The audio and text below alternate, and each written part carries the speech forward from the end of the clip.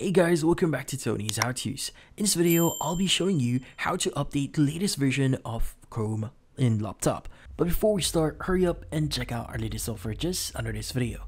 So let's get started. So to update your Chrome browser in your laptop, what you need to do is you need to access a few pages here or a few settings. This case, let's go and open up our Chrome browser here.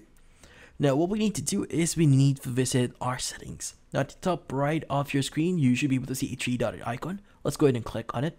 And from here, let's go ahead and click on the settings option.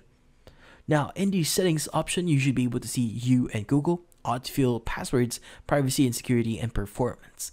Now, if you want to update your current browser here, what you need to do is you just need to visit the following page, which is going to be about Chrome. So when you click on it, it will automatically check if there are any updates that your browser or Google Chrome needs to install. Now, it will actually automatically download that and install it for you. Now, to fully integrate the actual update or for you to utilize the updated version of Chrome, what you need to do is you just need to wait for it to complete downloading and installing. Now, once that complete, let's go ahead and close Chrome here.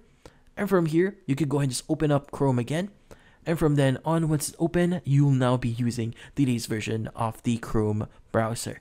In this case, updating Chrome here is actually pretty easy and a pretty, pretty straightforward process. And that's about it. So, if you found this video helpful, hit the like and subscribe button and watch our next video.